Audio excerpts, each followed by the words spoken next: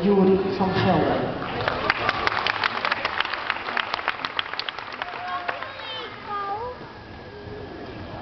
En natuurlijk kunnen jullie allemaal een handtekening.